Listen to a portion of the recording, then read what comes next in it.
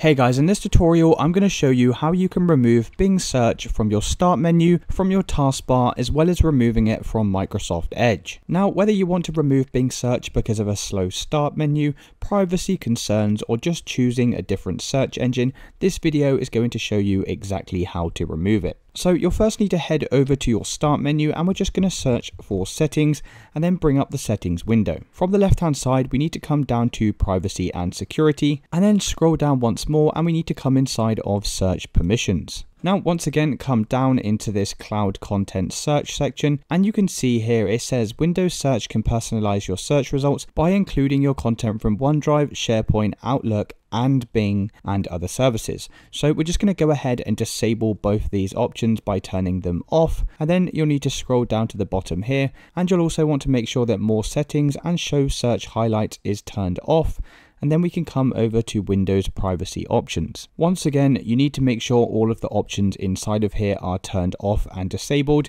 Feel free to read through these to see exactly what each of these do.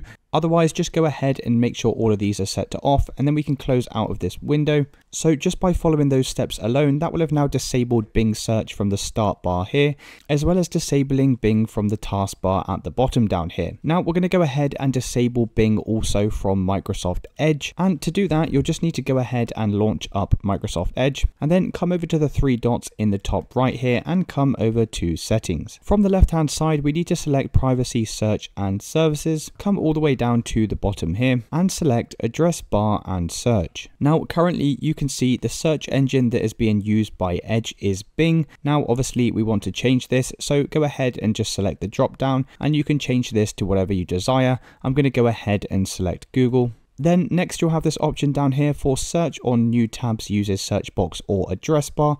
Now at the moment this is set to search box which is essentially Bing. So we're going to go ahead and change this to address bar. And once we've done that we can then come over to this tab in the left where it says start home and new tabs. So what we're going to do is just change all of the options down here. So when Edge first launches up on your computer at the moment it will load Bing.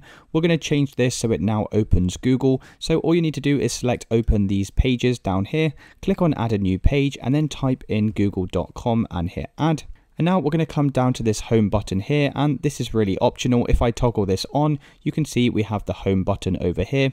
And now at the moment, this will just take us to Bing. So what we're going to do is we're going to set this to also google.com. And now you'll need to restart your browser in order for these changes to take effect. And if I launch back up Microsoft Edge, you can now see that google.com first launches when I start up the browser. And if I press the home button over here, you can see this also takes me to Google. So the very last thing you'll need to do to remove all instances of Bing from appearing on your computer is we're just going to change some edits to the registry. So just close out of Microsoft Edge and we're going to come over to our start menu and just search for registry editor and then you'll need to right click on this and run this as administrator. So before we make any changes to the registry editor, I'd always recommend creating a backup just by coming over to file and selecting export and then you can give your backup file a name. I'm just going to call it backup and hit save. And that way, if we ever do need to restore the backup, we can just come over to file and select import and then locate your backup file. So to fully remove Bing search, what we need to do is come down to HKey local machine and expand this inside of software, scroll all the way down to find a folder called policies and expand this down here. And then we need to come down to this Microsoft folder and expand this.